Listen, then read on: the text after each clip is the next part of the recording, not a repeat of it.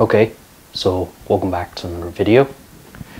So today's video, we're actually given um, some sequence of functions, but also with that given, we want to find the limit. So we, uh, we are given that if a sub 1 is equal to the square root of 2 subtract 1, and then for some recursive formula of sequence a sub n plus 1 is equal to n plus 1 a sub n plus n, then we want to find the limit as n approaches infinity of e to the power n times a sub n divided by n to the power n plus 1 half. So it's um, basically the way we start off this problem is more we want to find um, basically we want to find a little bit more of a generalization pattern specifically when we're looking at some a sub n plus 1 well really we were looking at a sub n in this sense.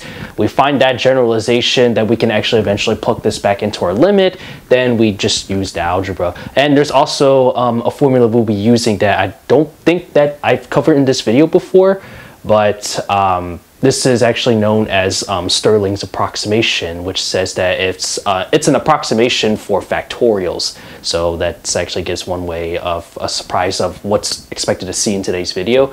Um, in a sense, um, well, I'll explain that formula just um, how that's written and then um, how it's how it works in a sense. But um, I'm not going to go too much over it. We just actually just want to find this computation.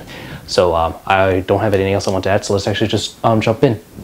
So if we give in a sub n plus 1 of the following sequence right here, let's suppose that I add 1 to the constant of our um, generalization sequence right here.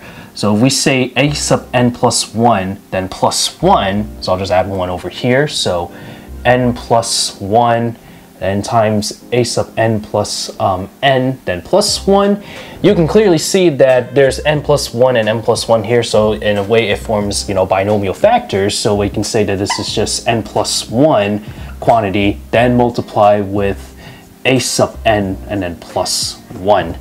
Now suppose that if we actually take this uh, step back, so let's go back from one, pre or, um, one previous term, so a sub n and then plus 1. So then a sub n, then plus 1. Okay, so if we just replace everything from the n plus 1 terms for n instead, so this would be, um, so a, n plus 1 and then n, so that means we're subtracting 1 terms of our, you know, sequence. So this means we have n, and then multiply with a sub n, then subtract 1 of, um, then plus 1, Okay, we do this, let's say we do this again, so a sub n subtract 1, then plus 1, so we just do this again, so this will be n subtract 1 multiply with a sub n subtract 2 plus 1, okay? Maybe we'll do um, one, um, we'll actually do another one, and then we'll follow with an ellipse to see like what's the pattern here. So a sub n subtract 2 plus 1, so then this is just substitute, so this will be n minus 2, then going back, so this will be a sub n subtract 3, then plus 1.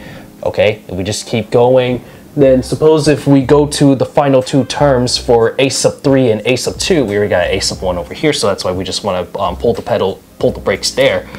Then we have a sub 3 plus 1 is simply just equal to 3, and then times a sub 2 plus 1, then a sub 2 plus 1 is equal to 2 times a sub 2, or excuse me, a sub 1, and then add this with 1. And we actually noticed something with the um, with the constants, yeah, rather before um, it, um, we're being multiplied with our, you know, um, sequence of formulas over here. So you'll notice that everything is in decrease, so it's um, nested when you're actually plugging in each of the sequence. So here we have, uh, for example, 3 sub a sub 2 plus 1. If we just plug this back here, so it'll be 3 times 2 um, times a sub 1 plus 1. If we go back over here, you do the same thing, but then you'll notice that this is actually in a way of forming of um, factorials if we're decreasing, you know, each of the terms by one and then multiply with using finding its product. So then we can actually say that a sub n plus 1, um, or right, just a sub n itself and then plus 1, then we can see that if it's just a nested of products, then we can actually just replace this with a factorial. And so we have the generalization that a sub n then plus 1 is simply just equal to n factorial of a sub a sub 1 specifically since that's um, where we're starting at and then add this with 1 and if you want to um, well, hold on for a sec. Um, then we plug, then we just substitute back the a sub 1 with square root of 2 subtract 1. So here, um, that means n factorial, then times, um, what is it? Square root of 2, subtract 1, and then plus 1. Simply just equals the square root of 2, um, then times n factorial. And if you want to get a sub n by itself with the generalization, so we have that a sub n is equal to the square root of 2, multiply with n factorial, and then subtract 1.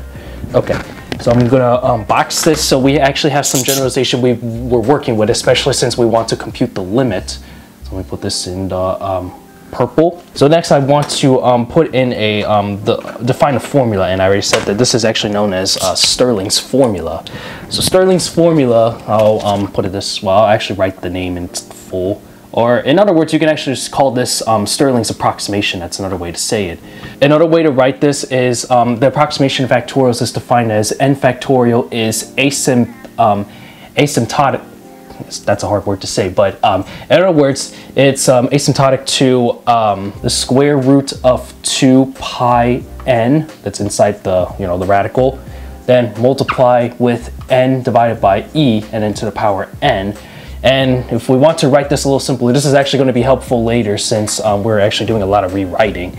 Square root of 2 pi n then we just write this in terms of the exponential base, so it'll be times e, and then um, n times ln of n, and then subtract n. So asymptotic, it's another way of saying is that um, the ratio, both of the quantities ratio tends to 1 as n tends to infinity. So using this, we can actually do a little bit of a substitution dealing with this um, limit we have. So let's actually um, do that. Give me one second, I just want to fix something. So now let's actually compute the limit. So let's see if we just plug, um, so let, us not worry about the limit set, but let's just focus on the, um, the function we are taking the limit of. Then we have that e sub n um, times a sub n, or e to the power n times a sub n, then n times uh, n to the power n plus 1 half. Okay, so we'll just substitute this back in. So this is e to the n, then divided by n to the power n plus 1 half. Then inside, I'll just replace this with the our um, a sub n formula we found, so the square root of 2, then multiply with n factorial, subtract 1. Then, in other words, we can actually replace this using the um, Stirling's approximation, asymptotic, so it's a nice substitution that's helpful to use. So e sub n, then divided by n to the power n plus 1 half. Then we have the square root of 2 um, then multiply with the square root of 2 pi n, and then um, e, we're going to use this substitution or another rewritten expression from the original. So subtract n. I'm going to utilize some room here, so I'm going to write this on the this side right here.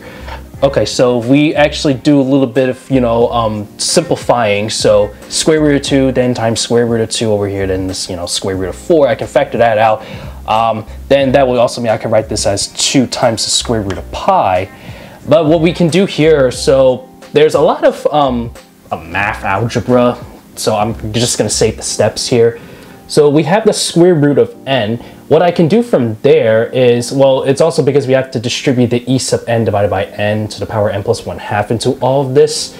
So the square root of n times e sub n, well, let's just focus on that. What I can do from there is I can actually write that square root of n in terms of an exponential base. Then what we can do with the exponents is actually combine with the sums of the exponents and using the, you know, the exponent rules associated with over here as well. There's also supposed to be a minus one over here too. So minus one.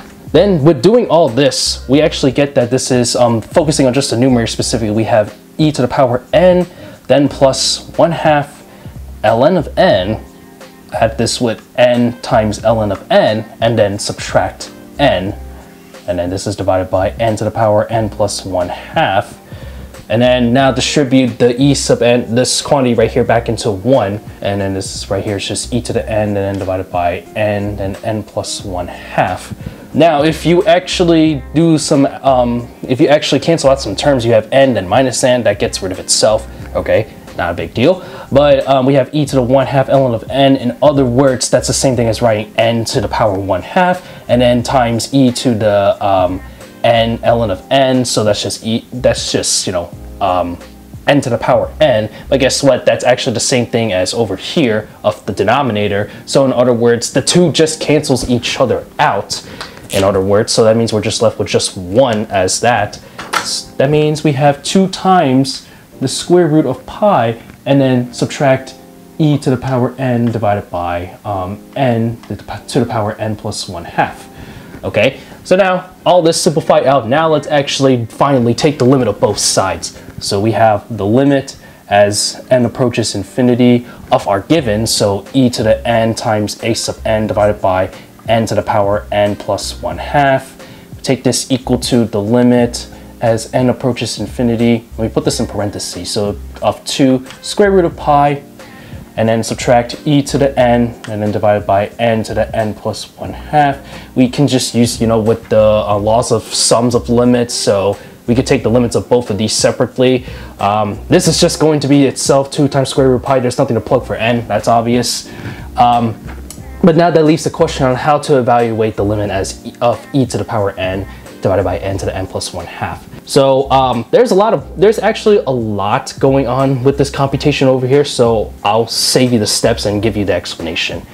So what we can do from there is you can actually write, um, well, write this rational function as, you know, just the numerator itself. So in other words, just convert this back with the exponent. So this will be e to the power n multiplied by n to the power negative n subtract 1 half and then we can actually do a little bit of a trick and actually write this in terms of a square root. So really that would actually have to mean that this is actually supposed to be 2n on the top, or rather the limit as n approaches infinity of the square root of e to the power 2n times n to the negative 2n subtract 1.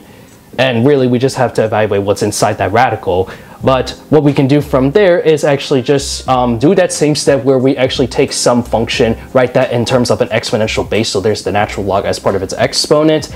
Then eventually, if you actually do a lot of the algebra with the exponent itself, you'll get a e to the, um, specifically, if you write this out. You have e to the power 2n minus 2n times ln of n, subtract ln of n, and if you just evaluate that limit, that's a little more involved, but I'll just give you the gist. You'll get an e to the negative infinity after taking that limit, which we all know that's gonna equal zero.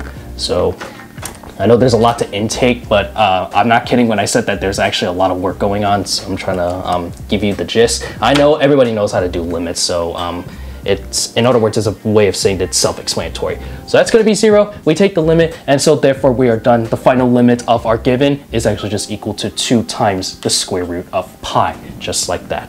And we are done. Oops. Uh, the final answer in, again, the purple box, just like that, but that's not the final answer. This is the final answer. Oops, sorry. Um, so that's another, um, that's a very interesting take on using, um, you know, sequence of, you know, a recursive sequence and then put that in the form of a limit. It's actually kind of similar to when um, many videos back I did something with the, you know, limit of Pascal's triangles. So it's another way to like, uh, that's more of a, like an implementation um, in a higher degree. So that, but that was also fun. If you want to check that out, I'll leave that in the link in the description below, but there it is. So yeah, that's uh, that's uh, pretty cool if you ask me.